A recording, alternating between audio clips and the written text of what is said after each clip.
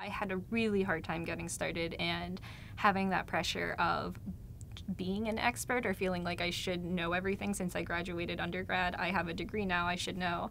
Um, and then very quickly learning that you almost know nothing, right? Um, but so coming to terms with that and being like, that's why I'm here, though. It, it, it is to learn, it is to realize what I don't know. And the fact that that's always going to be the case, and that's exciting. It's a good thing, not a bad thing. And so now when I'm teaching, now when I'm like doing my own research or presenting, even, I, I think I've found a much better balance, and that's grown a lot into how I teach other people and to how um, I'm like forgiving with myself as I go along. And so that's been the biggest change. And I think I try to take time to reflect each year on like what do I need to do versus what has gotten better.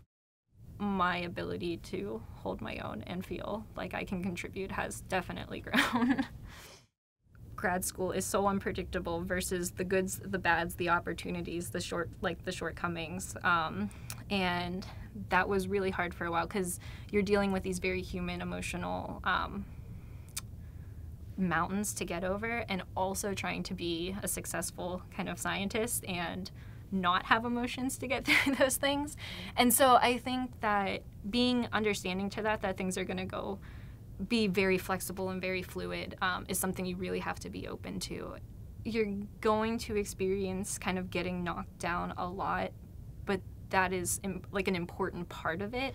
Knowing that things might fail and probably for a silly reason, um, especially in the coding aspect. I, I think when you get into um, the experimental realm, there has to just be much more focus placed on prepping and making sure things are exact before you start you can be emotional for like two seconds and then it's just back to the books of like you have a list to get done and just figure out the way to rewrite this subtask list for yourself. And so i'd say the emotions are still there but it's less um, it's more contained. It's like okay here's this doesn't speak to me and my quality as a student and that's where um, the, that's been a big switch that intimidation and that kind of feeling dumb honestly for a good amount of time goes away um, they're all because you know again I, I think reiterating from something i mentioned before is you're gonna feel kind of dumb and there's always going to be things you don't know but you learn how to take that in stride and you learn how to kind of use it to your advantage of making connections making collaborations